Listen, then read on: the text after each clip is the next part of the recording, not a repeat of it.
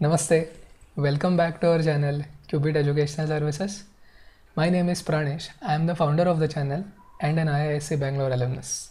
In this video series, we are solving the physics MCQs from IISER Aptitude Test 2017 and in this video particular, we are going to solve the fifth MCQ from physics that is MCQ number 50 from the exam.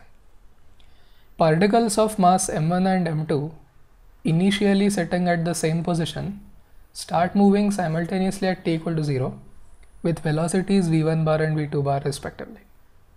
After a time t equal to t naught, the angular momentum of particle of mass m2 with respect to the particle of mass m1 is. And we have four options. Note that in all four options, they have only given the magnitude part. Okay, so direction is irrelevant at least for the problem we want the angular momentum of second particle relative to the first particle so it is L21 bar.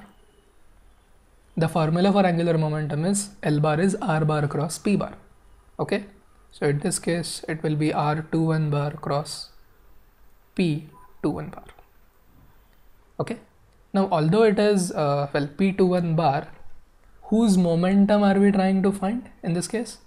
Momentum of body 2 correct so instead of writing it as P21 bar, it makes sense to write it as M2 V21 bar. Okay, because when we are finding the linear momentum of second body, the absolute linear momentum will be M2 V2 bar. But in this case, we are finding it relative to the first body. So it has to be relative velocity of body 2 with respect to body 1. Okay. Fine. Now what is R21 bar by triangle law of vector addition? It will be R2 bar minus R1 bar cross M2. Same thing for velocity V2 bar minus V1 bar. Okay, now if you don't understand how R21 bar is R2 bar minus R1 bar, here is what I'll, I'll show it. Okay, suppose this is the initial position of the two bodies. Okay, Suppose this is where the body is present at time t equal to t naught. Let's say the body 1. So let this be r1 bar. Okay, let this be r1 bar. Then suppose the body 2 is somewhere here. Okay, body 2 is supposed somewhere here. So this will be r2 bar. Now we want, what do we want? We want body 2's position relative to body 1 okay so we basically want this vector and if I apply the triangle law of vector addition this vector will turn out to be r2 bar minus r1 bar. That's what I've written here. Correct? Okay. Now let's go, let's go to velocities and note that these velocities are constants. V1 bar and v2 bar are constants. Right? They have not said anything about acceleration. So when the velocities are constants it means that both the motions are rectilinear motions. Correct? Both the motions are rectilinear motions. So we can actually say that r2 bar will be t naught v2 bar. See for rectilinear motion in the same direction with constant velocity with uniform velocity what is the conclusion that we can draw? R2 bar is t naught v2 bar.